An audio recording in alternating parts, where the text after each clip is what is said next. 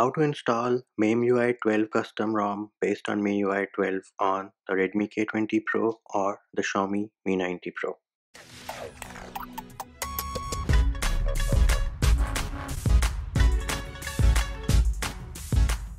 Hey peeps, what's up? Munchy here, back with another video and in this video I'm going to show you how you can install MemeUI 12 custom ROM based on MIUI 12 on Redmi K20 Pro or the Xiaomi Mi 9T Pro.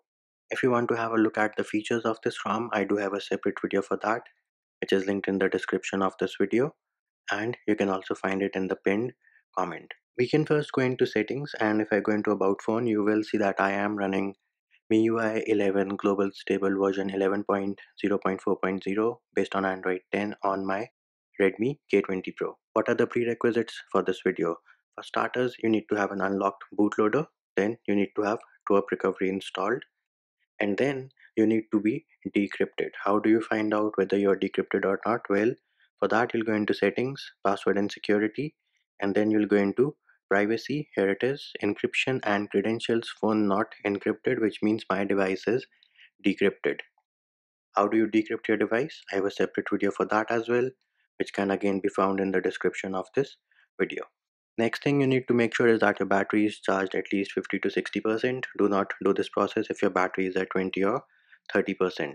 Also make sure you have a backup of all your pictures, videos and anything important which you have on your device because if we run into any boot loops then we will have to do a format data from TWRP recovery in which case you are going to lose all your pictures, videos and anything important which you have on your device.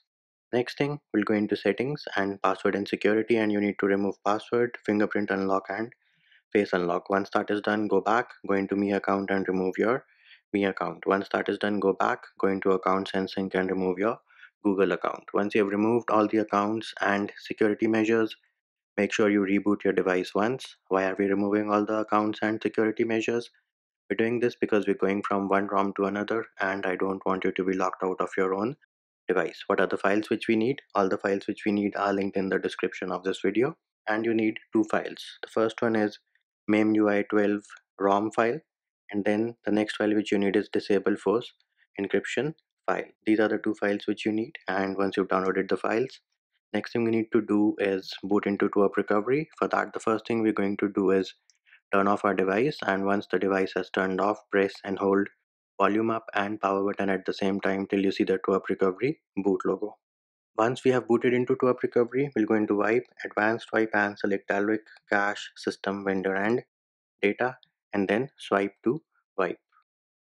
Once the wipe process has finished successfully, click on the home button, go into install and now you need to navigate to the folder where you have downloaded all the files. In case you downloaded the files on your phone directly, they will be in the download folder. In my case I have transferred them manually so they are in the root directory. The first file which we need to flash is the MemeUI 12 ROM file. So select this file and then click on add more zips and then select disable dmverity or DFE and then swipe to confirm flash.